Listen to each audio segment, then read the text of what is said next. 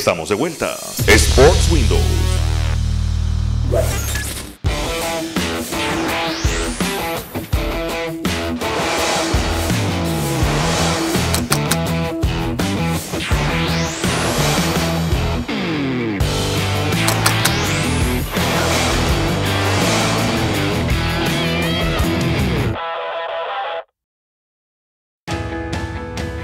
Los pasados Juegos Panamericanos escuchamos sobre una gran promesa deportiva en la natación y sabemos que gracias a su sacrificio y gran perseverancia traerá esos resultados que tanto anhela. Ella es Emily Santos, quien es nuestra futura winner. Hola, soy Emily Santos, soy atleta de natación, mido 1.67, peso 136 libras. Natación.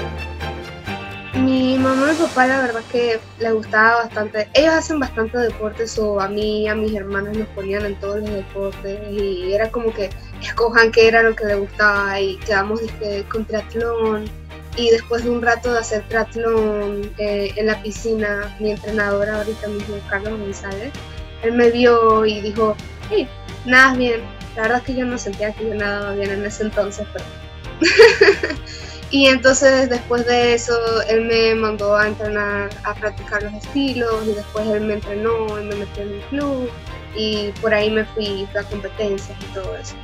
Y él la verdad que él ha sido el que me ha inspirado a, a seguir en la natación. Él me ha entrenado y ha hecho que me gustara ir a competencias y levantarme temprano y todo.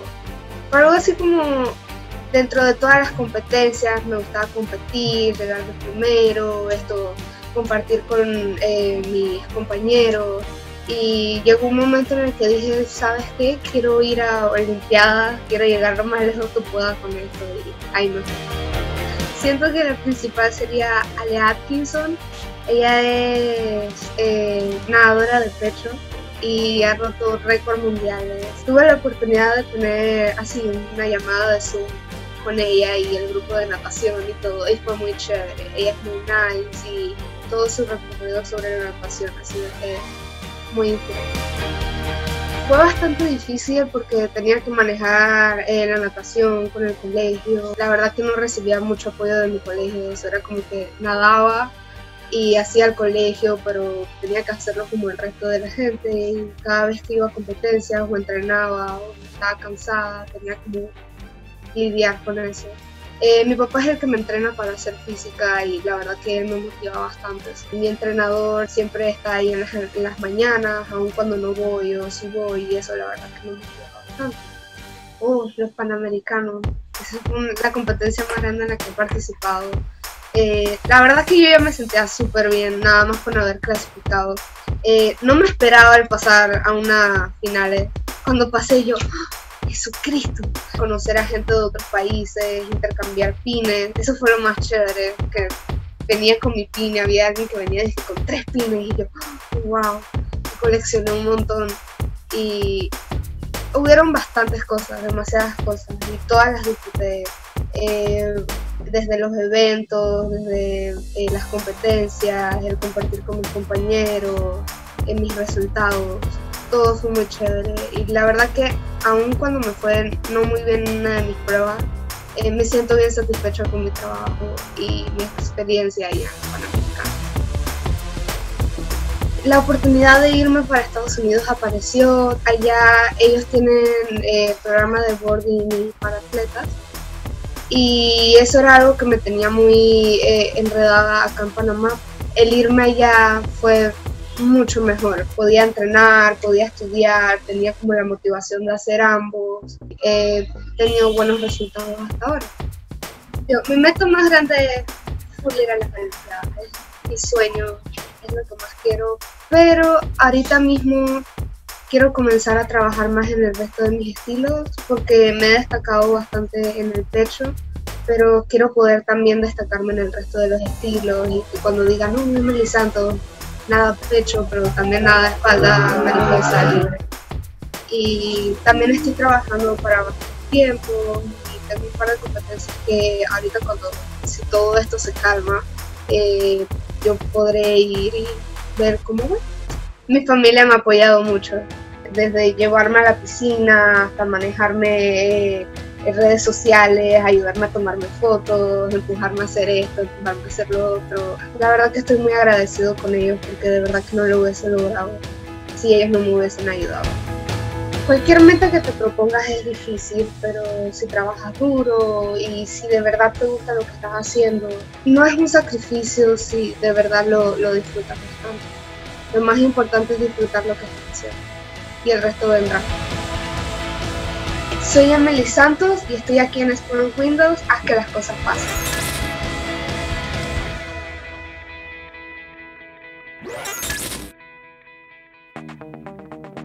yo sé que ustedes los ciclistas tienen que ser lo más completos posible, pero dentro de, de, lo completo también hay cada ciclista como que tiene su, su fortaleza. ¿Cuánto consideras que en qué grupo entras? Soy un corredor de, de escapadas, me gusta buscarlo, casi la mayoría de los triunfos que he tenido los logro logrando fugas, porque tengo más opciones, porque soy rápido, pero tampoco soy tan rápido para poder ganar un sprint en un pelotón grande con la mayoría profesionales.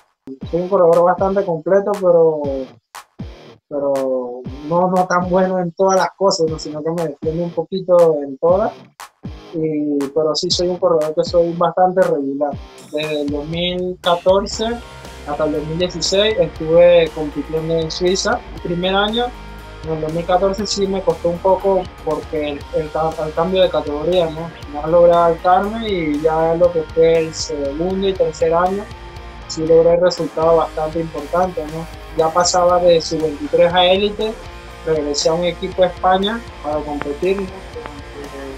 El 2017 estuve toda la temporada corriendo con el equipo que se llamaba Telcom en ese tiempo en Navarra, bueno, estuve ahí toda la temporada, me fue bastante bien, igual logré buenos resultados durante toda la temporada y de ahí el año siguiente esto me fichó un equipo de Italia, ya mi primer equipo profesional, que era lo que se estaba buscando, ¿no? algún contrato con un equipo profesional. De ahí me tocó regresar a Panamá porque, claro, no tenía visa, solo estaba con el pasaporte que solo se permite tres meses estar sin, sin visa, no lograba cumplir la documentación adecuada para que me dieran el visado.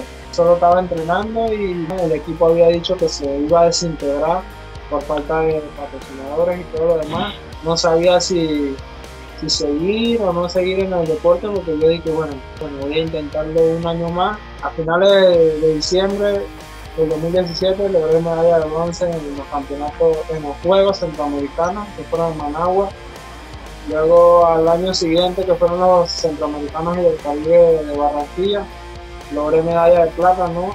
Eh, y vamos, ya eso, una cosa me fue llevando a la otra. Le dije bueno, ya si no logro esto este año, voy a ver qué hago porque eh, uno apoyo sin patrocinadores era difícil porque uno llegaba y a veces no, no había para comer, para entrenar bien. Le dije que bueno, si Diosito me, me me, dio la fuerza para que ganara esto, era, era para que lo siga intentando. Este año logré conseguir un equipo para contrato en, en la temporada de este año, va a servir como preparación para, para los Juegos Olímpicos.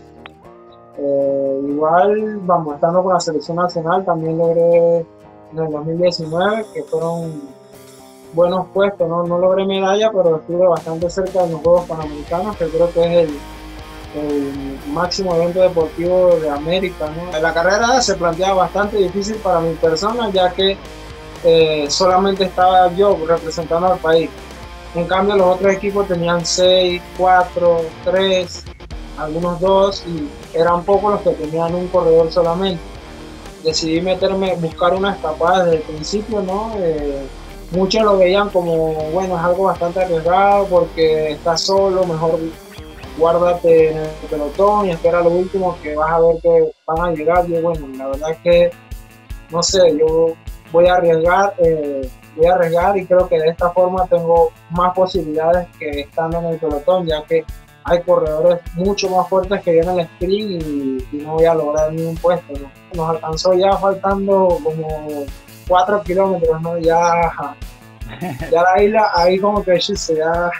La pierna ya está en lo último ajá, ya hay que, bueno, y que si tú no vas a poder ganarle, la verdad que hay que estar muy, muy fuerte y fresco.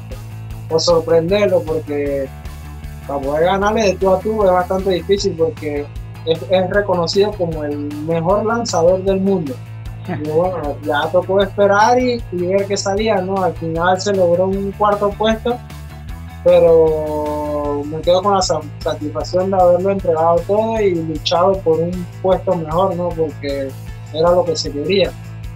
No, y también Claro, me acuerdo claro. que después de eso también fue ya cuando confirmaron tu clasificación a las Olimpiadas, ¿no? Sí, sí, exacto, exactamente. Ya después que logré la participación en los, Juegos Panamericanos, como a, creo que como a la, casi al mes se me notificó que tenía una clasi- un cupo para las Olimpiadas y yo, yo no me lo creía, pues yo terminaron los Juegos Panamericanos y yo, yo dije, bueno, eh, se, se luchó, pues se luchó hasta donde se pudo y ya, vamos a seguir a ver hasta dónde llegamos. Me notificaron que sí había logrado el cupo ¿no? para, para la Olimpiada y yo, yo no me lo creía.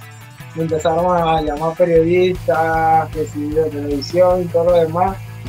Y yo dije, ¿qué se será verdad o no? Y yo dije, decían que sí, que era seguro, que no sé qué, pero el comunicado oficial lo decían hasta, hasta noviembre y apenas era a principios de octubre, creo, o finales de septiembre, cuando me estaban diciendo. Y yo dije, bueno, no me quiero hacer ilusiones, voy a mejor esperar el comunicado oficial del Comité Olímpico Internacional y bueno, ya de ahí celebro.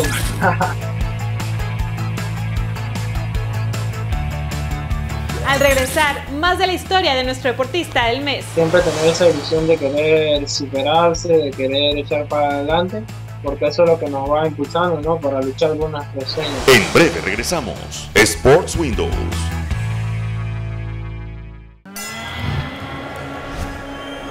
Ya puedes compartir tu talento con un solo send, share, repost, upload y con un solo clic. Sé winner y obtén tu Sports Profile totalmente profesional. Muestra tu talento a familiares, scouts, universidades, amigos y patrocinadores. Contáctanos y haz que las cosas pasen junto a los creadores del proyecto que cree en tu proceso. Sports Profile by Sports Windows.